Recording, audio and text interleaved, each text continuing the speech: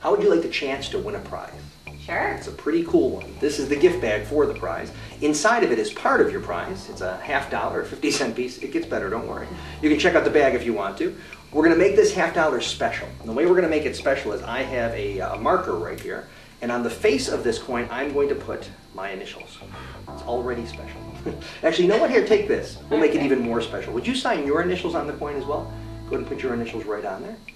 Fantastic. Great. Your initials, my initials, that coin is completely marked off, and there is one more part to your prize that I think you're going to like. The part of the prize that I think is pretty neat is in my pocket. It's this. It is the, uh, the keys to my car.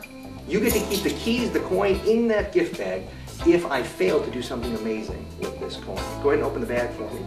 Not a bad uh, prize for just watching some magic. I'll put this in my hand just like so. You see the coin right there. It's got my initials on it, your initials. I just take it right here in my hand. I give it a little squeeze, and when I squeeze it right, it just disappears, which is pretty cool, but it gets better. Go ahead and open up that bag. Inside that bag, you'll find my keychain. Take out everything you find. I'll take the bag. And on that keychain, go ahead and look closely. It's the coin. You'll see it's sealed inside the metal, yes? Yes. Completely and totally locked in there. The only way to actually take it out would be to unscrew the entire keychain you can take a look at those. I can peel away the metal just like that. You can check that all out. And that I think is pretty darn amazing. That is out of here. Cool.